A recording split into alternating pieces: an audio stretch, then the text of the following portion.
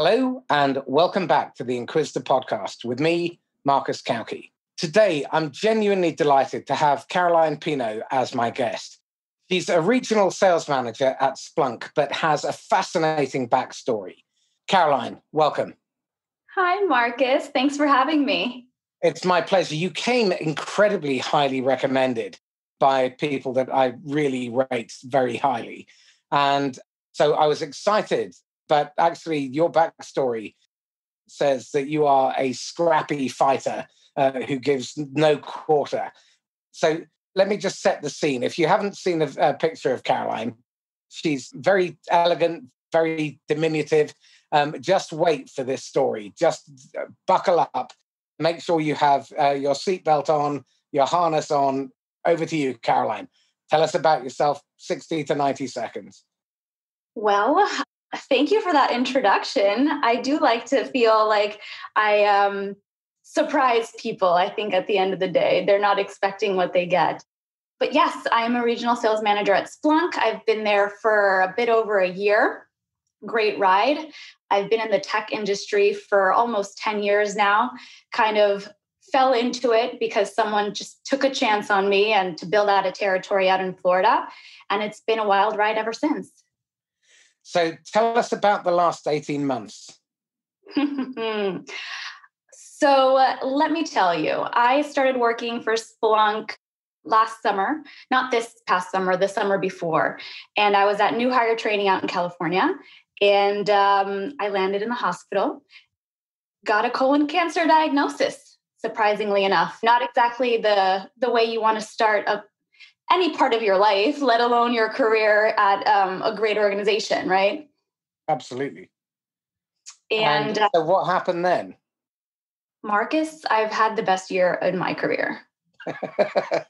go on, tell That's us what happened then. Uh, you should celebrate your successes. So let, let's all uh, celebrate along with you. So you came in at what number at the end of the end of the year? So I I still have a little bit to go towards the end of the year, but I'm uh, over 300% at the moment. Outstanding. And not okay. slowing down.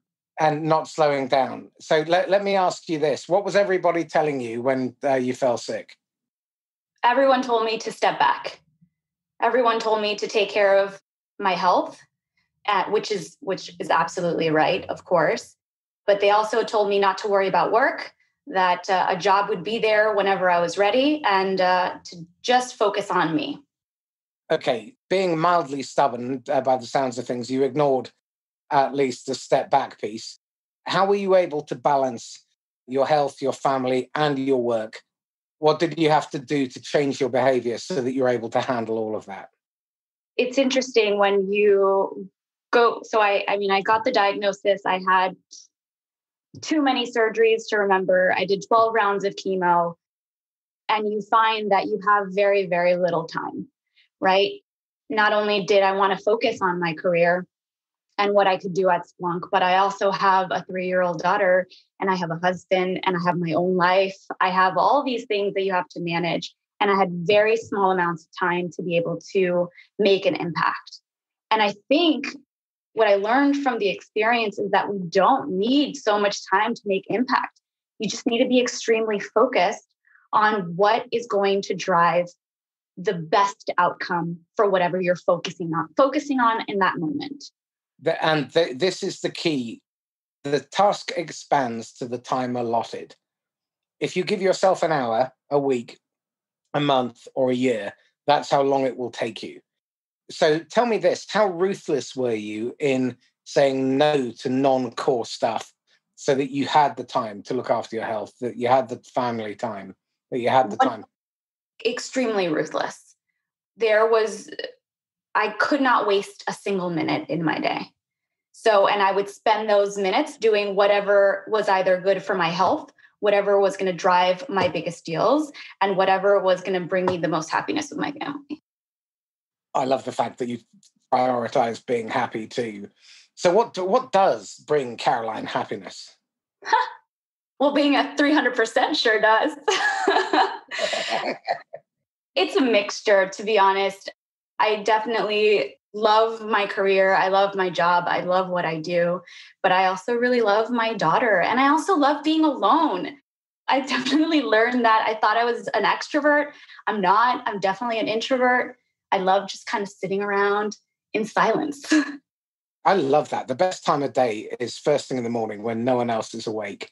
And uh, I love, I've thoroughly enjoyed being isolated.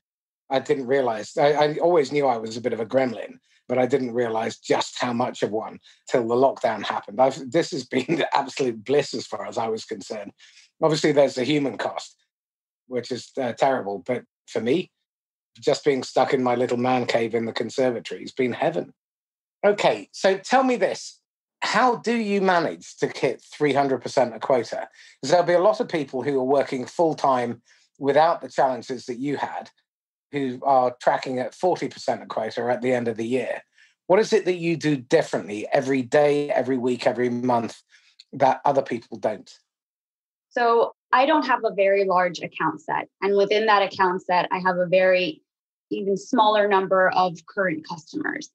And what I've found, not only in this role, but in the other roles that I've had where I maybe I did have a large account set, I really just focused on the three to five accounts that had the biggest potential to grow. And when you looked at them, they weren't utilizing the solution the way that they should be or that they could be. And I bring in all the resources necessary to help them adopt. And that's what I go through first. Let's adopt with what you have because that will naturally help you grow. Excellent. If you can hear Carolaine's percussing in the background there to, to drive the point home. So th- this is really interesting. I, I was having a conversation with my friend Paul Lloyd, and we were bemoaning the fact that so few salespeople really do have focus. What they tend to do is they throw lots of mud at the wall and hope some of it sticks. I was having a conversation yesterday with someone who wanted me to mentor them and he was saying something that was really interesting as well. He's, he's set up a telemarketing company, and he's uh, just bought something. I think it was Cognism. He said, and he's got twenty thousand verified names and email addresses and telephone numbers, and he does these blasts, and he gets a one percent response rate. Then no business off the back of it. Paul and I were discussing that exactly that topic this morning. That what you need to do is you need to narrow the focus. What you say no to matters more than what you say yes to. And the other side, which you've touched on, which I think is really important, but most compensation schemes drive unwanted behavior, is that once we've got an account, make sure they're utilizing what we sell them. And I love that philosophy. Where, first of all, when did you realize that that was the right thing to do? And why is it other people don't? So it was definitely in my first role within tech. I was working for a boutique VAR out in South Florida that had no accounts and we had to build it from nothing. And I was on the VAR side, so I wasn't even a, a manufacturer at the time. And I just got intel of who already owns what I'm trying to sell them because I was willing to bet it was still sitting in a box somewhere. And I just started pounding on those doors. And again, I still narrowed it down to three to five, pounding on those doors, telling them that we were going to come in and make it work free free of charge. Like i just wanted to invest in their current success. And they would end up switch over and purchase even more from me and the team. That's when i first first saw it. But don't get me i mean I, I go through cycles. All of a sudden because it is a long game because it takes time and tremendous amount of effort it can be mm, you know a, a couple months down the line you say well maybe this isn't working. I'm going to throw those thousand emails and see what sticks. But that doesn't that that is not that's not the way to go. The only way that has been successful for me is the ones where you invest the time to make things work for the customer. I've found exactly the same thing. When I had my training business, I found that having a handful of clients and charging a lot for it, so that it meant that I could spend time on them and I didn't have to spend it hammering the phones, dialing for dollars uh, for the next three or four hundred pounds to come in, and you know, getting twenty thousand pounds per person per year meant that I could give them all the time that they needed. I, I, I used to offer unlimited coaching. There was a reasonable use clause, which is don't take the piss and make sure you've done your preparation. And if we've agreed a course of action, implement it and then come and tell me why it didn't work. But apart from that, they had unlimited coaching. And it flabbergasted me how often I would have to chase people uh, to get coaching. In your experience, when you are working that closely with accounts, how often do you find that you have to encourage them to actually use the service that is the value add when it's there, but they're just not not necessarily using it? You have to encourage a lot. it sometimes it feels like you're the parent trying to tell the child what is important and what's going to help them. And as salespeople, I think we tend to give up very quickly, but that getting them to actually have the aha moment and start utilizing is where you will see more fruit later on. But it's true. It's hard to get them to use it. We're being pulled in so many different directions. So, can you define for me how you see the role of a salesperson? Yes. Keeping in mind that I personally like to sell very complex things. I feel like the more complicated it is, the stickier it is. So, for that kind of salesperson, I think that we are I wish I had a better word, but we're really a quarterback and like a master coordinator of helping conductor. I'm conductor sorry? Of conductor of an orchestra. Exactly. It's a conductor because as a salesperson, I'm not supposed to know everything. I shouldn't know everything. If I know everything, something's wrong. Um, really.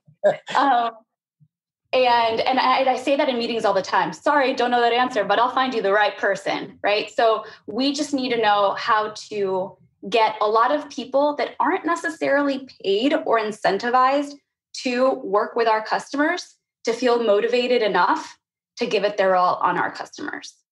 So this touches on another couple of really important points that you've alluded to which is for a salesperson I think the most important question you can learn how to ask is who, not why, how, or what. Um, it's who. Who knows the answer? Uh, who can help? Uh, who who's been through this before? And learn to. And th- this is why I think um, salespeople who don't understand the importance of building their personal brand, building their network that goes well beyond um, their direct prospect base, um, are significantly losing out um, because my, my network has grown over the years and there's almost no one on the planet that I can't get access to. Um, and if there's a topic that I need to cover, um, I can readily uh, go to someone who will know someone. Um, you know, I, I, frequently post on LinkedIn and ask about something, often for someone in my network, and answers come back.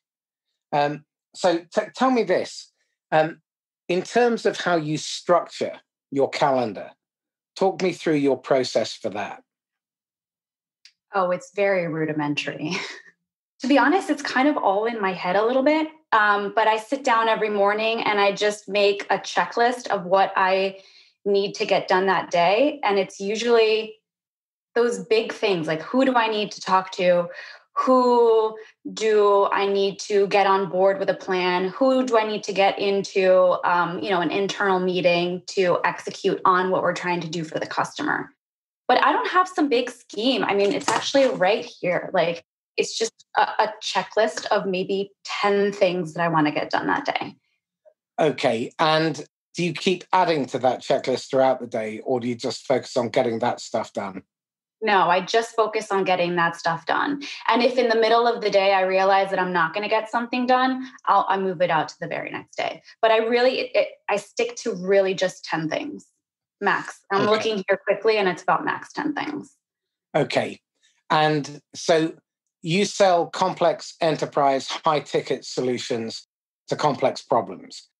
Tell me what are the qualities that are required to be an expert cat herder in order to ensure that you get the movement and motion within your own organization and cut through the politics and the bullshit? So I, I think you just said it just perfectly. You just need to cut through the politics and the BS. I feel as though I definitely make true relationships with people. I'm generally interested in who they are and what they do. And I think that creates sort of a bond between the team that you're trying to work with that keeps them happy to also want to work with your customers. I don't think that you want to be the sales rep that people don't want to work with. And I find that this may divert a little bit, but as a salesperson, sometimes you kind of only want to get the recognition yourself, right? We always say that the salesperson is control freak and they want the win and they they they feed off that win when you're selling solutions like this and you have such a big team behind you i think that it also makes you successful if you know how to step back and be happy that everyone else is getting the recognition because when other people on the team that don't usually get recognition get recognized it motivates them to continue to want to work with you and the customers that you're trying to drive. This touches on a crucially important factor, particularly in tough times. So, in recessions, downturns, during this pandemic, um, a lot of people are very nervous, very scared. They have uncertainty. And based on a meta study of 330 studies, mankind's greatest fear is the future because with it comes uncertainty. And I think what a great salesperson brings is that they're a safe pair of hands. Everybody knows what's expected of them, everybody knows what is going to happen next. And the, the best salespeople I know are really contractual. So they always agree precisely and specifically what someone is going to do, what the boundaries are, what's not going to happen. They coordinate and make sure everybody is prepared. Now, again, let's touch on this. I'm speaking to a number of prospects at the moment, and one of the common themes that I get is that their sales teams are packed with order takers who do not prepare, do not rehearse. They turn up, they wing it. And at best, it's the flip of a coin in terms of whether a forecast deal will come in what is it that you're doing to create certainty uh, in people's minds to make sure that as the as the conductor of the orchestra um, the right people are having the right conversations at the right time in the right way with the right people and then there's a clear next step so that you're co- i mean do you use some form of uh, planning framework when you're going in to meet a prospect? Is there uh, a rehearsal that's planned? You have red teams white teams pre-morteming a deal that uh, in order to eliminate the probability of losing it, all that kind of stuff. The planning is is twofold, right? So with the internal team, we tend to have uh, a meeting before going into a big meeting to discuss the background that I have on the customer, areas where I think they should avoid talking about, areas where I think they need to hone in on. And then afterwards, we tend to have a debrief where we decide on next steps internally that each person is responsible for. But I also do that with the customer themselves. What I've started doing, and I found that is really helpful, is I tend to prep them on what we're going to be talking about just to make sure we're on the same page. And I've started treating the customer as a partner versus um, someone I'm trying to sell to, so that there's this give and get in the relationship. Actually, I'm working out, my engineer is doing it because he's way better at this stuff, but um, we're working out an entire kind of like uh, Excel plan where we document we gave this and the customer gave us this. And if we start seeing that there's a skew where we're doing too much, we back off or we confront the customer on it. Because again, these are complex solutions. We're trying to solve big problems. If they're not as interested as we are, we have a big problem. Yeah, I, I can't even begin to tell you how happy that makes me uh, feel hearing that. Um, I, I, have a fundamental belief that um, salespeople will only succeed in the future through their ability to collaborate and partner with their customers with their partners, with other people in their own organization, and also potentially with the competition. Because most technology solutions are just one big moving part or small moving part in the customer's overall IT strategy, which is in turn is a moving part in their business strategy. And if we are not getting the customer to step out of the goal mouth, so it's us and the entire team kicking into the customer's goal uh, against their problem into an open goal, then we will find ourselves constantly being doubted, distrusted, and justifiably so. And the, the whole concept of partnership, the way I defined it in the book I wrote, Making Channel Sales Work, is that partners help each other get better. And that whole piece around accountability, making sure that there is equal homework and that the effort is matched on both sides is really important. What I'm seeing in the companies that I'm working with um, as the CRO is as we start to build that culture, and we focus on building lifetime customers. When we prospect, we're not prospecting for this month or this quarter, we're prospecting for five years down the road. Um, our objective is to get lifetime customers on board who are delighted because an unhappy customer will always be looking an alternative. A satisfied customer knows that things could be better, so they're our competitors' best prospects. And a delighted customer they're probably not going to bother changing because they're delighted. So even if someone comes up with something that's a little bit different, it's not going to be enough to leverage to get us out of the account. The salespeople, in fact, the entire team on the vendor side should be highly engaged because we know that what you get with highly engaged employees is massive discretionary effort. And that's something that you seem to be really good at generating because those people don't necessarily get paid or recognized even. So tell me this if you had a magic wand and you could modify compensation schemes so that everybody who contributed was paid, what advice uh, or hints would you give someone? Because that's the, I, am after a little bit of uh, free advice here, because I'm just at that point now where we're designing the comp plan. And that's the kind of comp plan I want to des- uh, design. So I'm curious. You you've been on the sharp end for a while now. How would you design a compensation scheme to drive that behavior so people were recognized and rewarded as a matter of routine? And it's the culture. This is the way we do things around here. Great question. And I'll be honest, I'm not sure I have the answer for you. And eh, you've actually taught me something. I have never really taken a step back to look at what the compensation plan is for all of those people around me. And that should be one of those things that I actually look at to see what drives them. Is it money? Is it relationship? Is it just recognition? That's something I literally just learned this second. That it's something I'm not I'm not looking at. We can have a chat about that offline then. Yeah. No, okay. but it, it's fair because I've I've definitely asked the questions of ISRs or business development reps because I want to see how they're motivated to help me build pipeline that's outside of the pipeline that I'm building myself. But what about that extended team? It's definitely a valid point. Well, I, I remember interviewing Victor Antonio, and he was pre sales for sales rep who took him out for a great steak lunch when they won this deal.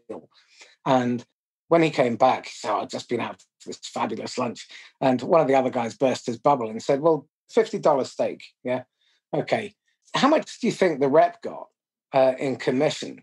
And at which point he was felt slightly flattened. And that there was a catalyst for him to move into sales. I recognize that money isn't uh, what drives many people. In fact, for me, money is actually not a big driver. I make enough so that I need for nothing. So getting more is just a benchmark of how much other people value what I do but doing important, meaningful work, being challenged, seeing other people thrive and succeed is incredibly satisfying. And having my clients come back to me, and I had a client from a couple of years back contact me recently. And on about a £25,000 investment, he's made just shy of £800,000 back. And that was really incredibly satisfying. So when you spend time talking to these people, being curious about them, what are the kind of things that you are learning? I mean, I'm not expecting you to share any confidences, but you know, what, what are the things that you're interested in? What are you looking for so that those people know that you care? I personally am just generally interested in their personal lives. You know, what's happening mentally, what's happening with the family, where are the hardships that people might be comfortable sharing and that we can talk through and maybe brainstorm how to fix them because I've gone through a lot of hardships in a very short amount of time. So I get it. and if I can lend a, an ear or a recommendation, I'm happy to do it. It's really interesting because I, I think so many people go into business thinking that we're here to do a job but we forget that actually we're dealing with human beings. Our customers are not organic ATM machines. They have lives too, and they have hopes and fears. And the decisions that they're making at the level that you sell at can literally be career ending if they get those wrong. And hundreds, thousands, tens of thousands of people can be massively affected if they make the wrong decision. So, again, from the customer side, how do you go about making sure that they know that this is not just a transaction for you? I think it's more about showing versus talking. I'm thinking about a customer right now that I remember he the particular person completely blew me off as a regular salesperson the first time that we met. He made it very clear that, you know, he knows the sales game, but we've been working with him for several months now and I'm pretty convinced that his perspective has changed because again we are in there on a regular basis. We are helping uh, the team grow and that's just not one customer. It's many customers that we're doing this we're doing this with. So i think that customers are tired of hearing salespeople say we're here to help we're here to partner and then they disappear. I think it's all about the action more than what you're saying. And once they see it, you know, over the course of a few months, they get it. They understand that you have their best interests at heart. So you're known by the promises you keep, not the ones you make. Yeah. Tell me this you operate in a complex, high ticket environment where there's a lot of pressure from above to achieve results. What advice would you give to someone who is new into an enterprise role about managing upwards? Hide all your pipeline. Don't tell anyone what you're doing until you have a deal.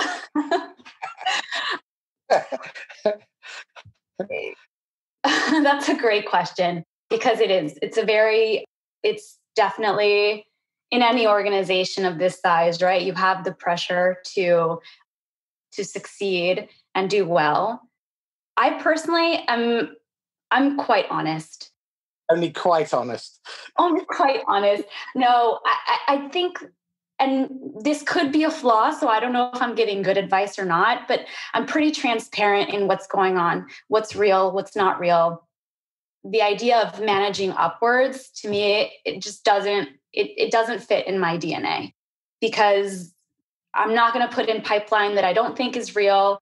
I'm not going to put a deal as a commit if I don't think it's real. And even if I'm challenged on it, I'm going to come back and say, no, it, we're not, we're not there yet. We're not ready.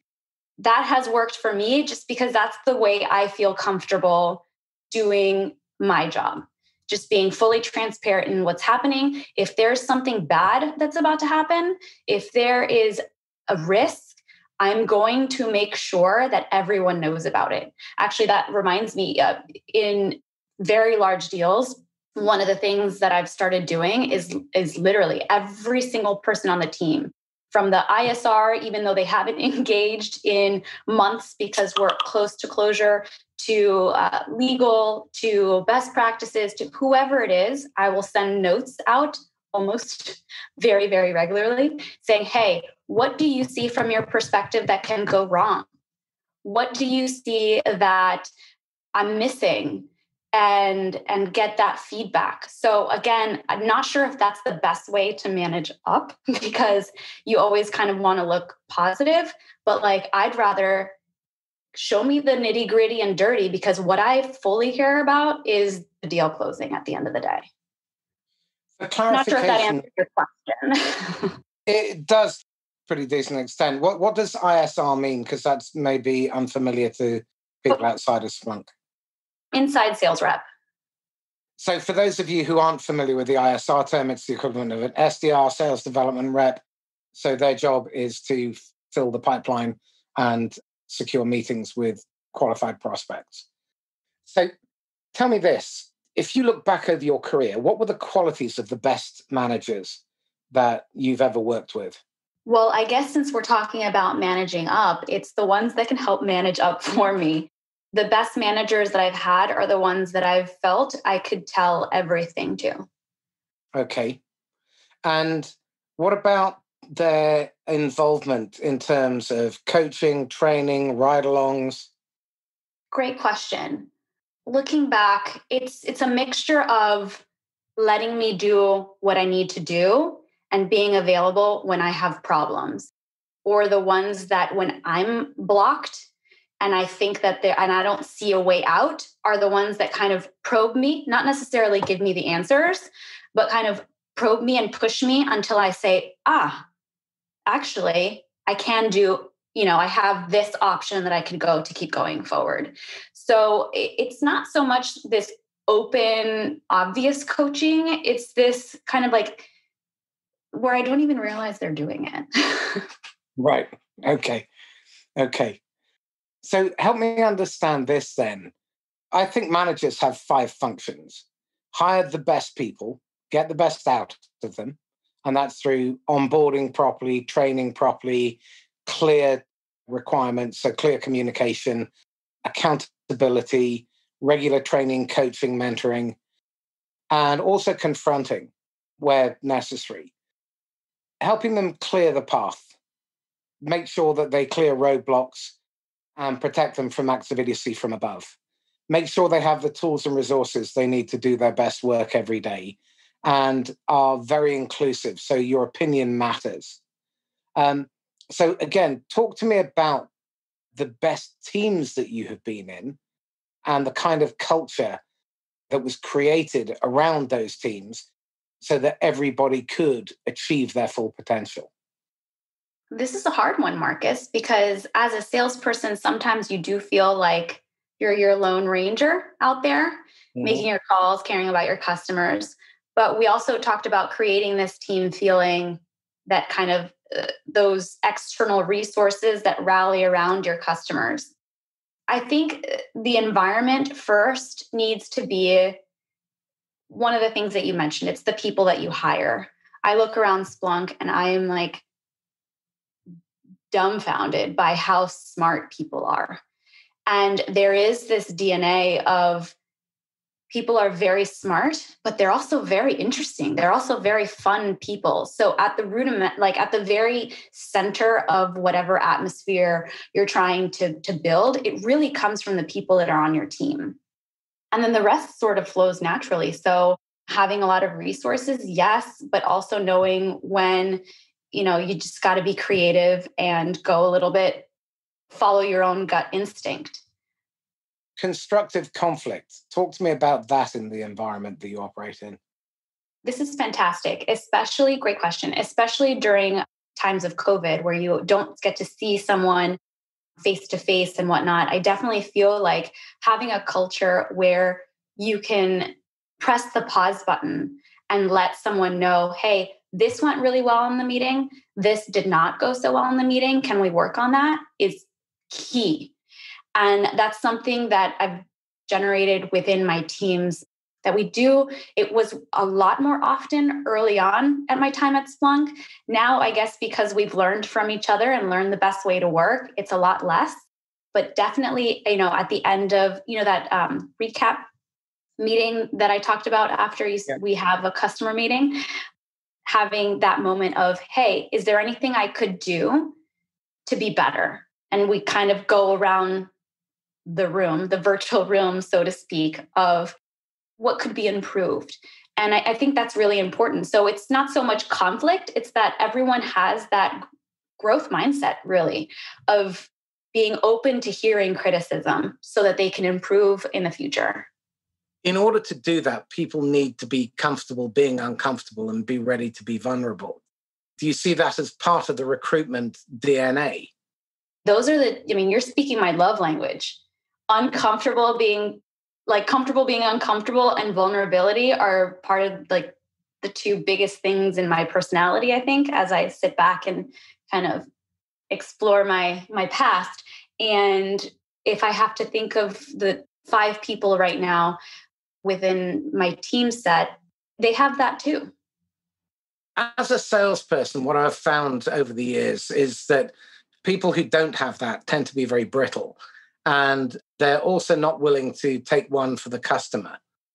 Can you give me an example of where you've had to take a bullet for the customer? So I feel like that happens every single day, to be honest. Um, again, complex enterprise solutions, they're not plug and play. Sometimes they may say that on the sheet, but it's not really like that. And yeah, but that's marketing bullshit. You know that you can't trust any of that.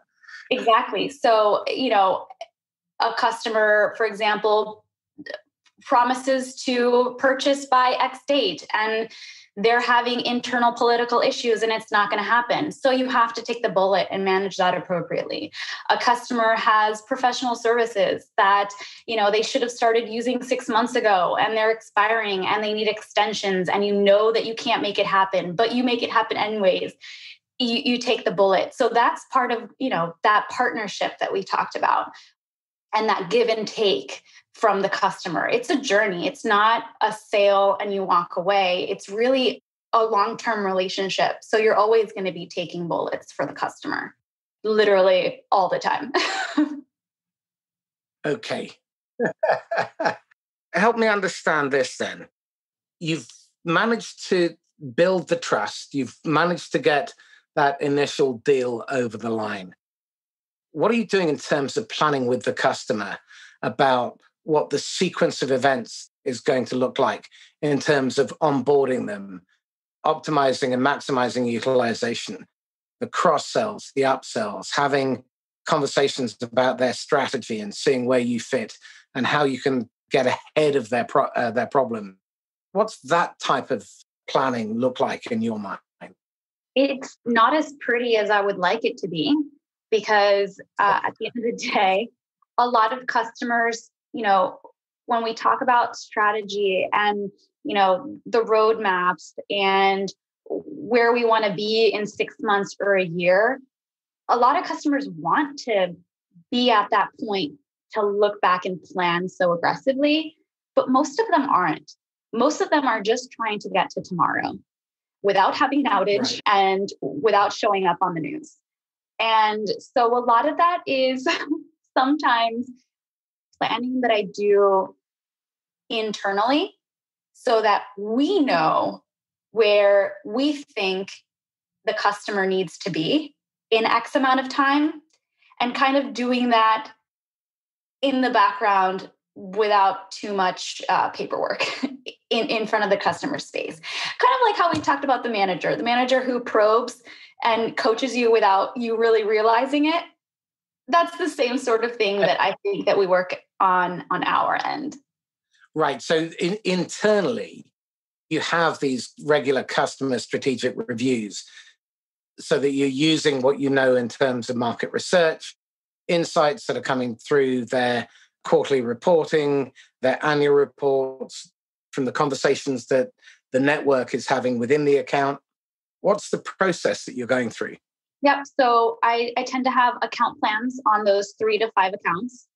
And yes, those are updated every six months or so, where I sit down and properly update them. But on a regular basis with the core team of the account, we are looking at how are things going now and we are discussing what other people found as they were in the account, right? Because we do have professional services in the accounts. What did they see that I didn't see? Um, and we're sharing that information. Actually, just this morning, I, I had one of those internal calls, and professional services opened this shared tons of information that completely is going to shift my strategy with the account. just because of the, the cadence that they've had over the last two weeks, the different people that they've been working with. And yeah, so th- that long term vision, I kind of have it for myself because the customers are very busy. So, I mean, I would love to be able to have executive briefings with my customers on a monthly basis and really, you know, sit down and and plan long-term visions. But that's really hard because they're being pulled in so many different directions. So, the approach that I've taken with the team is that we make sure to have that vision for them. We understand their business, we understand what's going on, and we kind of plan long-term what seeds we want to plant along the way so that when the time comes, they're ready for whether it's an upgrade or it's an expansion, a cross sale, and things like that. It's really interesting. My good pal and mentor, Brian Sullivan, taught me a couple of very useful tactics. One is to build those quarterly value reviews into the deal as part of our compensation. So make it a condition and agree that you'll meet quarterly and the objective is to hold one another to account. So there are very specific performance indicators that define whether successful in terms of supplying them with the service and the outcomes that they want. Equally, you have success factors that you need from them, and you hold each other to account on a quarterly basis and those are agreed at the at the outset of an, a project. And then throughout every 3 months you can reset those factors. You can hold each other's feet to the fire. You can say what worked what didn't work. And then it creates the pipeline for the next 3 months because it identifies where you can be of value to them. Um, another useful tactic is a fortnightly call to these key accounts uh, which is called a recon call and it stands for remember or remind me. So, Carolaine, remind me what we agreed to do between now and the last time we spoke. Hmm. I'm interested in the bad, not the good. So, where have we failed you? Have we made any uh, promises we haven't kept, any expectations we haven't met? Yeah. Anything you're disappointed by? That's the E of the recon evaluate. What's changed? What's changed for the better as a result of what we've done? And now they're selling to us then where are the opportunities for us to work more effectively, more closely with you over the next 90, 180 days?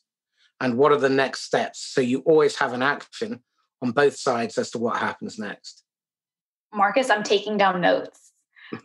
this is fabulous and something else that I've that I'm taking away from our little chat today. This is great.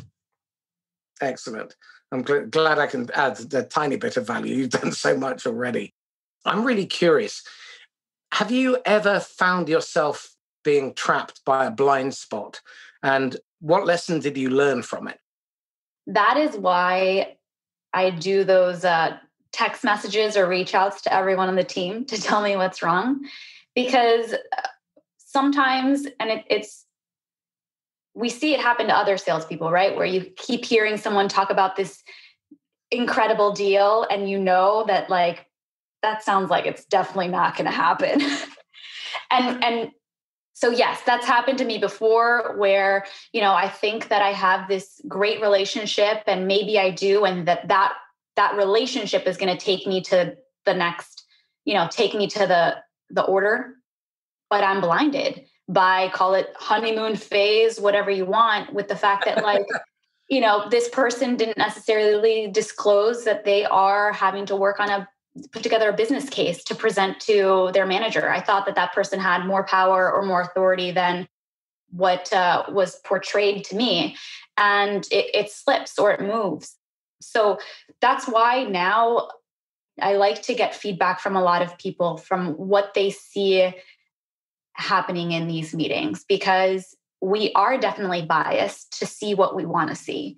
But others you know are a little bit more pessimistic or more optimistic and and getting those that feedback lets you know that you're not crazy.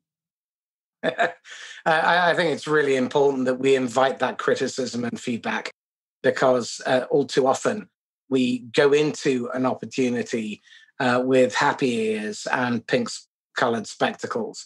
And that's inevitably going to get you into trouble. I think far too often, what we tend to do is go in and get emotionally attached as salespeople. And emotional attachment to the outcome of I've found nothing beautiful. And it puts you into a position where you start to need the deal rather than just want it. Yep. And that's really very, very dangerous. Okay, tell me this. Undoubtedly, you're going into opportunities where there are competitors.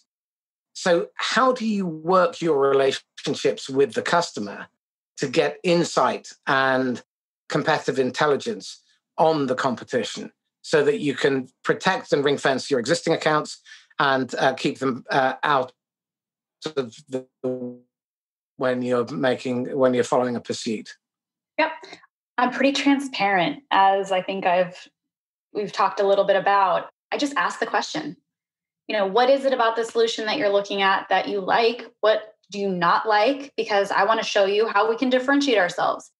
I think in my opinion i don't think we need to be like skeevy and you know secretive on our objective. It's obvious. We want to win the business we want to make sure we're not displaced. So let's be clear about that. Let's put that on the table. I want to make sure i don't lose your business. I want to make sure that you know my competition doesn't step here. What is it that you like more about them or not so much about us? And vice versa. What is it that you like about us you know that maybe the the competitor didn't didn't present well enough so we can make sure to hone in on that aspect as well? So when you're working on competitive bids what are you doing in order to ensure that you're not just going to pursue something that you can't win or you shouldn't win? Do you have some sort of approach there in order to get a coach or a sponsor go through your draft? We talked earlier about being comfortable in the uncomfortable right? I think that when you have tremendous success, you can tiptoe on a line of starting to get comfortable because everyone's really happy. You're doing really great. And I think right now I'm really kind of teetering this line of making sure that I stay uncomfortable and that I remember that, you know, in a month the next month is starting you know in in 3 months the new year is starting and we're back at zero okay that's good advice just keep remembering you're only as good as your last quarter and that you need to keep ahead of the problem so Carolaine you've got a golden ticket and you can go back and you can advise the idiot Carolaine age 23 on one choice bit of advice that you know she would ignore, but it would be useful to her, what, what would your advice be to her? I would say pull in a team sooner. I may have had success early on in my career, but I could have probably doubled it if I would have leveraged resources more effectively. I was that salesperson that wanted to have the win on their own.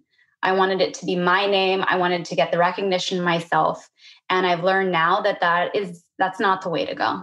So pull in other people sooner. What kind of numbers were you billing then?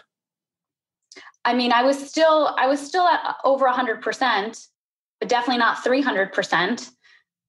So the, I mean the the point being that you get a lot further by collaborating and um, sharing the recognition and the victory. Yes, you need more minds than just your own when you're talking to large enterprises that need complex solutions, period. You need to position yourself as wanting to get smarter people in the room there with you. Excellent. What, what are you being influenced by? What are you reading, watching, listening to that you rate and you reckon other people should pay heed to? Listen, right now I'm reading all about how not to get cancer again.